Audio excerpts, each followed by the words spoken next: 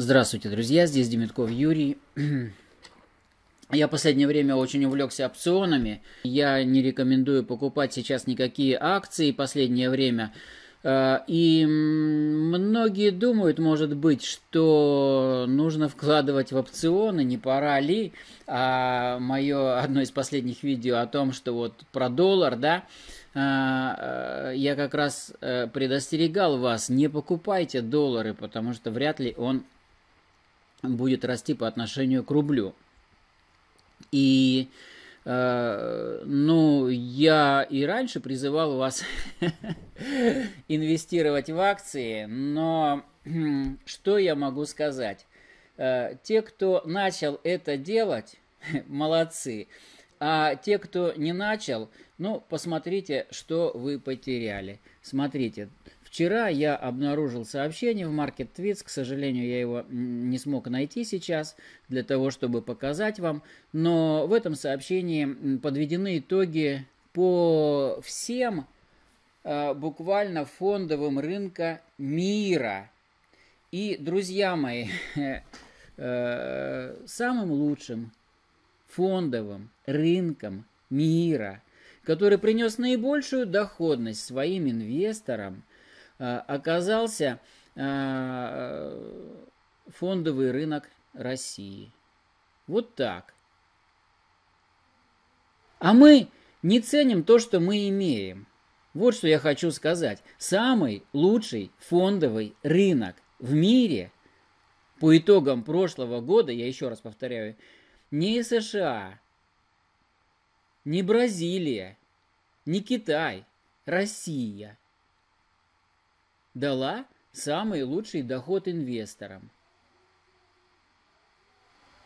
Если вы живете в России и уже начали инвестировать, вы молодцы. Если не начали, то э, вы потеряли свою возможность за прошлый год. Э, надо начинать если вы не открыли брокерский счет, открывайте. Э, если вы не знаете, во что инвестировать, ну я помогаю, я стараюсь, друзья мои.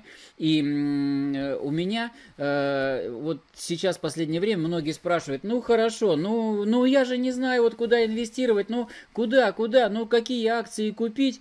И спрашивают, ну какие акции купить? Говорят, ну вот какие мне акции купить, чтобы они выросли? Скажи мне, дорогой мой. Ну, как я могу сказать, друзья мои? Э, все зависит от момента, все зависит от вашей склонности к риску. Но э, от вашей суммы, кстати, от того, на какой срок вы хотите инвестировать. Но вот сейчас я вам покажу. Э, просто э, свой портфель я не могу рекомендовать, просто свой портфель. И посмотрите, когда я его покупал, покупал, когда я его создавал, он был, э, ну, скажем так, как только покупаешь акции, вы знаете, что с ними бывает? Они уходят в убыток. Всегда практически. То есть покупаешь акцию, а она в убытке. Покупаешь акцию, а она в убыток.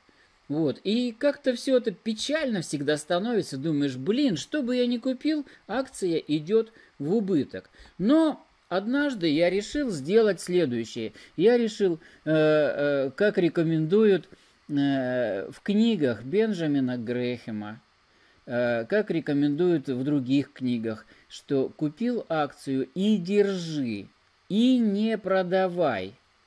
Просто держи, и все. И я решил попробовать делать именно так. И посмотрите, что у меня получилось. Я э, вам регулярно рассказывал ну, про все те покупки, которые я делал. Давайте посмотрим, что у меня сейчас в портфеле. Я у, уже не помню, когда рассказывал про самую там необычную облигацию «Россия-28». Я ее купил. И она очень дорогая сейчас. А, она сейчас стоит 1720 долларов только одна она. И вот здесь мой портфель, вот он, он отсортирован по э, проценту активов, которые, в которые вложены. Облигация Россия-28, безусловный лидер, 36,68% от моих от моих всех инвестиций. Что это за облигация? Это облигация в долларах, она дает регулярный Э, купонный доход раз в полгода мне приходят там по сколько-то долларов, э, ну сколько, 125 долларов э, в год приходит, соответственно, по двумя платежами. Вот так. Они поступают, ребята. Но я ее покупал, я эту облигацию покупал по 1620, вот эта желтая линия, это линия покупки, и, значит, соответственно, она подорожала за время владения мною, она подорожала на 10%. И все это в долларах, понимаете? И все это без налога, без э, НДФЛ я не заплачу, не заплачу НДФЛ с курсовой разницей. Вот они, э, так сказать, меня спрашивают, покупать доллары, не покупать. Вот я купил доллары и вложил их в облигацию. Это доллары, которые растут. Вот что я вам скажу. Они уже выросли, мои доллары, на 10% и регулярно приносят купонный доход. Дальше что? Давайте посмотрим. Газпром. Я его купил, я говорил, что он будет, э, должен расти, э, что вот сейчас Северный поток запустят к Новому году, когда еще говорил, летом, по-моему, потом я его докупал, вот, на втором месте у меня сейчас Газпром, ну, с Северным потоком, вы знаете, не случилось, но я его не продавал. И посмотрите, вот эта вот графа, нереализованная PL, это, ну, прибыль, которую я получил то есть это э, акции выросли. Вот вы видите, вот он, Газпром, пожал... О, ой, это не Газпром, сейчас, секундочку. Вот вы видите Газпром, вот он вырос. Он все равно вырос, да, значит, Северный поток там, э, вот уже было, наверное, известно, что его отменят. Ну, вот здесь вот уже объявлено, что его... Все. Тем не менее, он вырос. ГМК Норникель. Посмотрите. Я его купил давно. Не знаю когда. Не помню. А, а он, обаньки. Он падал когда-то, но вырос.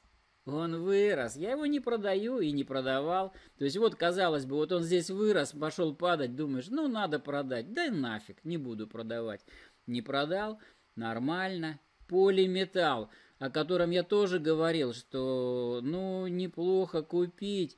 Вот, полиметалл это, э, ну, типа золотодобывающая компания, но здесь больше серебра, чем золото. Я купил ее, где, не помню, то ли здесь, то ли здесь. Она вот росла, падала, там росла, падала, но общий тренд растет. Посмотрите, 5000 рублей, доходность чисто, ну, от курсовая, эм, Распадская. Посмотрите, я ее купил когда-то вот в районе 100 рублей, давным-давно. Но потом мне нужны были деньги, и я ее продавал. А, я ее продавал, а потом снова вот здесь вот купил, когда она начала расти. И она пошла э, э, расти и дальше. То есть я продал, сказать, ну, деньги вывел, сколько мне нужно, э, распродавал акции, потом снова докупил. Поэтому желтая линия здесь вот здесь, но на самом деле первоначально я купил ее за 100. Просто вот здесь вот я ее продал сначала, потом снова купил. Вот, а, посмотрите, ну, даже с учетом вот этого, она уже в прибыли, вот, здесь ее докупил, ну, а с учетом этого, э, тем более. Ну, э, здесь 17% роста, я вам скажу. Сургут нефтегаз привилегированный, посмотрите, как они грохнулись. Э, ну и что? Сейчас они э, все равно, значит, ну как бы эта акция непредсказуемая. Здесь трудно что-либо предсказывать, но если вы помните, летом я рассказывал про дивиденды, дивидендный гэп. Э, да, вот, по-моему, он и был, да, это он и был, это дивидендный гэп, они упали на дивидендном гэпе. Тот пакет, который у меня был, я не продавал. Я вот здесь вот немножечко там полихачил на дивидендном гэпе, что-то заработал, вы помните. Но э, я не продавал тот пакет, который у меня был. Более того, я его докупил. Э, дальше. Полюс в плюсе. Посмотрите, пока еще ни одна позиция у меня в минусе не ушла. Система глубоко в плюсе. Яндекс падал, рос, э, я его продавал, покупал здесь где-то, но э, он в плюсе. И вот на этом вот, вот, вот здесь вот я заработал 6%, ну, я, сказать, здесь купил спекулятивно, там с плечом с хорошим, продал тут же, вот. Э, а, но позицию я оставил. Яндекс не платит дивиденды, но позиция держится, курс растет, несмотря ни на что. Лукойл, ракета. Новотек. Единственная акция, которая пока в минусе. Что это за компания? Это компания по добыче, э, ну, сжиженный газ, короче говоря. Э, в основном э, заводы по сжижению газа, вот, то есть занимается сжиженным газом. Татнефть, ракета, Газпромнефть в космос. Обувь России, но упала ниже некуда. Э, что такое обувь России? Ну, это мелкая компания, там вообще третий эшелон. Почему я э, купил обувь в России? Вы посмотрите, какое у меня, значит, ну, э, вложение в обувь в России 0,46% от всего портфеля. Ну, просто интересно мне акции третьего эшелона. Почему? Потому что, ну, могут расти, могут не расти. Я вам их не советую брать, потому что они крайне-крайне такие волатильные. Но мне показалось, что акции уже упали ниже некуда э, с точки зрения э, надежности компании вроде ничего, так что э, нормальная акция. И долго-долго-долго был Аэрофлот в минусе. Я его купил, он в минусе, в минусе, но я просто держал его всегда. Почему? Потому что ну, Аэрофлот надо иметь хоть какую-то транспортную компанию в портфеле, и просто для того, чтобы наблюдать, здесь чисто символическая как бы сумма вложена. Но посмотрите, Аэрофлот собрался лететь в космос. Теперь далее. О дивидендах. За последние полгода я получил следующие дивиденды. Сумма купонов 3 966, сумма дивидендов 13 916. Всего дивидендов и купонов 17 882. Ну, уже что-то. Это за последние полгода, когда я активно пополнял портфель. Давайте смотрим, по каким акциям я получил дивиденды. Я сам удивился на самом деле, э, что это за компании. А, Алроса 411 рублей. Так, сейчас, секундочку. Алроса. Дивиденды. А здесь что?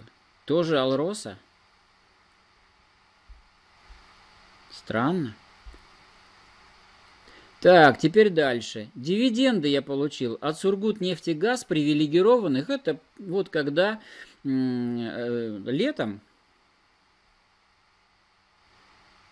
Ну да.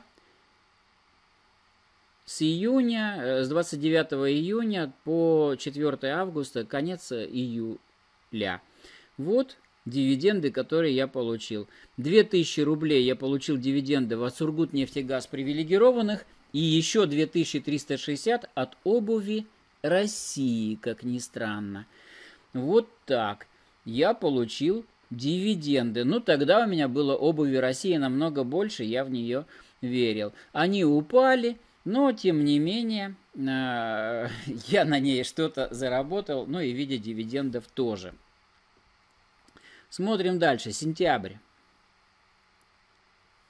Обаньки. Pfizer. 32,4 доллара американская компания Pfizer.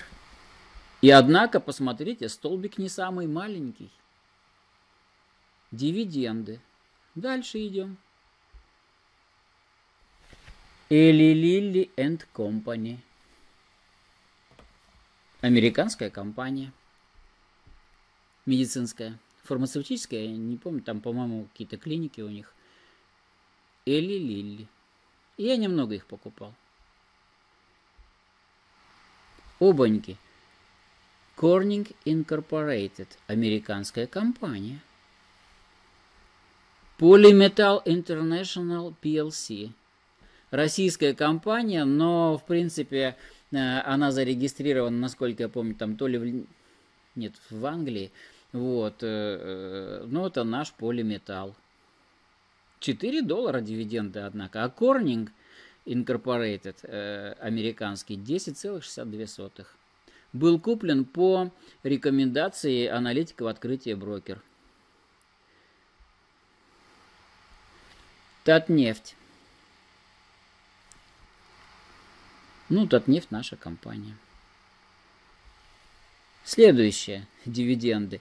Altria Group, американская, 11.34 и ГМК Норникель 883 доллара. Явно Altria американская здесь больше по столбику, чем, ну, вклад, чем ГМК Норникель. Следующее. Новотек 142 рубля. Следующее. Распадская. Cisco Systems. И снова Алроса. Здесь у нас Алроса. Здесь у нас Алроса. И здесь у нас снова Алроса. То есть Алроса платит дивиденды регулярно и ежеквартально, судя по всему. А, и здесь же, и здесь же Cisco Systems, Америка. Я купил там всего, по-моему, одну акцию, но 0,94 доллара. Как с куста. Идем дальше. Газпром нефть 181 рубль. Вы видели, у меня небольшая доля Газпром нефти в портфеле. Получил дивиденды. И вот он, декабрь. И снова Пфайцер. Он уже был. Еще 22,68 доллара. Я удивился сам на самом деле, что в долларах дивидендов больше, чем в рублях. Россия 28, 63,75. Вот он, пожалуйста, купон по, э, по этой облигации. Получен. И посмотрите, какой. Здесь дивиденды, ну вот от двух компаний. Здесь от одной России 28 купон не маленький.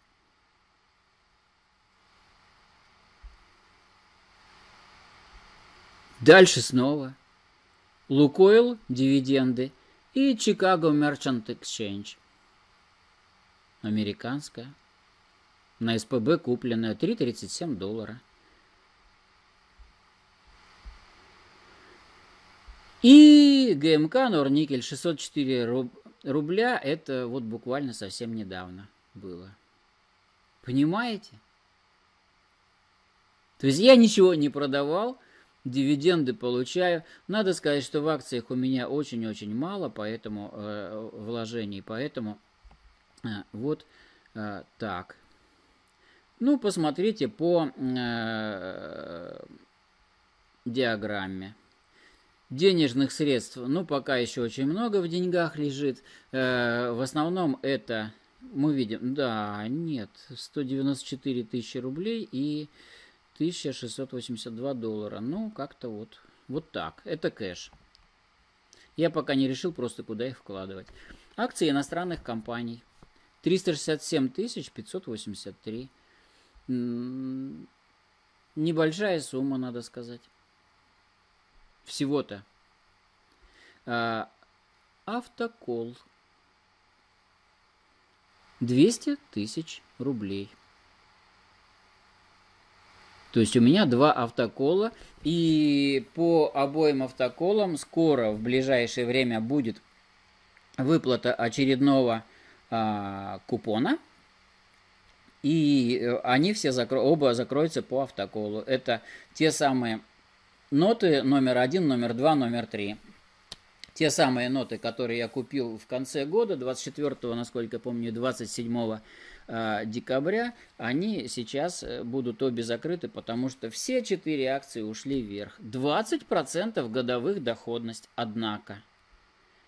И я очень рекомендую ноты начинающим инвесторам. 20% годовых доходность. И пока вот э, буквально в первый же период наблюдения они закрываются. Только одна нота не закрылась в первый период наблюдения, судя по всему, закроется во второй. Все. То есть они закрываются. Риска нет. Понимаете? То есть, если они очень сильно упадут, да, там может быть убыток там и так далее, невыплаты купона, задержки купонов. Но если все четыре акции вырастут, то э, срабатывает автокол, они закрываются, даже геморрой. Вот то, что они выросли. 20% годовых доходность. Купонная. И автогол я рекомендую начинающим инвесторам, пожалуйста. Номер один, номер два, номер три в открытии. Скоро буду э, еще рассказывать про точно такие же инструменты от э, компании БКС. Их там намного больше, они там тоже интересные. Акции российских компаний всего 152 тысячи. И государственные муниципальные облигации 1734 доллара. Это вот та самая Россия 28. Все. А, сколько вложено в опционы и фьючерсы, здесь не пишет по деньгам. Поэтому здесь, в общем-то, ну, список неполный. Вот так, друзья мои. Поэтому я очень советую э, не заниматься какой-то самостоятельной деятельностью. Э, можно, если вы ничего не понимаете в акциях, купить а, модельный портфель, который я давно и настоятельно всем рекомендую. Значит, на сайте demetkovyur.com найдете э, либо в описании к данному видео, либо вон там значочек «И» в правом верхнем углу. И нажмите там сайт demetkovyur.com, там и биржа для чайников, которую можно э, купить, а можно не купить. Э, если вы не хотите самостоятельно заниматься, пожалуйста, модельный портфель, как открыть брокерский счет, как его пополнять и выводить деньги, там все про это, э, всю информацию вы получите бесплатно, то есть даром. Вот. Все остальное там, ну, сказать, обучающие курсы, естественно, это за денежку. Э, что дальше для начинающих инвесторов? Пожалуйста, ноты, структурные продукты, автоколы, о которых я рассказываю и буду рассказывать в ближайшее время. Буду рассказывать. Нота номер один, нота номер два, нота номер три. Неоднократно я видел. И я думаю, что ссылочку и вон туда я помещу, значочек «И». И эм, э, в конце этого видео будет заставочка на Э, тоже структурные продукты. Там будет плейлист с выбором всех видео, которые посвящены этому. Ну, собственно говоря, вот так, друзья мои. Э, инвестируйте, получайте доход. И не забывайте, что у нас счастье, мы живем в России, в которой э, фондовый рынок растет. Но самыми большими темпами в мире в прошлом году не факт, что он будет продолжаться, поэтому пока не поздно. Начинайте. Спасибо за внимание. С вами был Демятков Юрий.